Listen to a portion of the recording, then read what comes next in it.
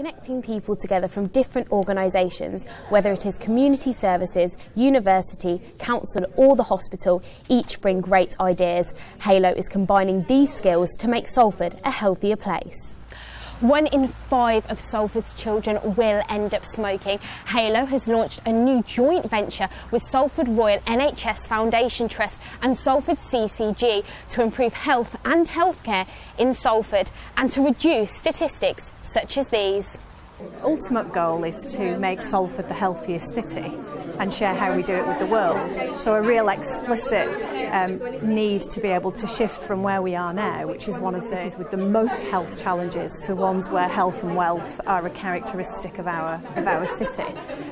There is a lot of work going on in the background and we do over the next five years want to see a huge improvement in how, how people uh, live longer. The event earlier this week at Salford Royal Hospital demonstrated how Haelo with Salford Clinical Commissioning Group have developed regional and national partnerships to share their learning. They aim to work with the industry and mainly with digital companies who can help support their ambition and deliver high quality safe care and ultimately to prevent illness. Uh, we're particularly interested in, in this project because it will bring together primary care, a hospital sector, research and development and the local authority together to um, collectively improve the population's health. What we've begun with is to create a project to improve vascular screening of the population. So many people in Salford die or, or get ill unnecessarily through not managing high blood pressure and high cholesterol.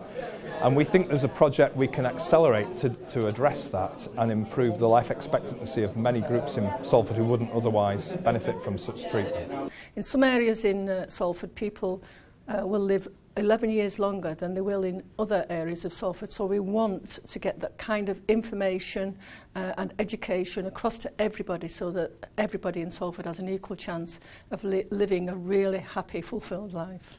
Tiffany Sweeney, Keys TV News.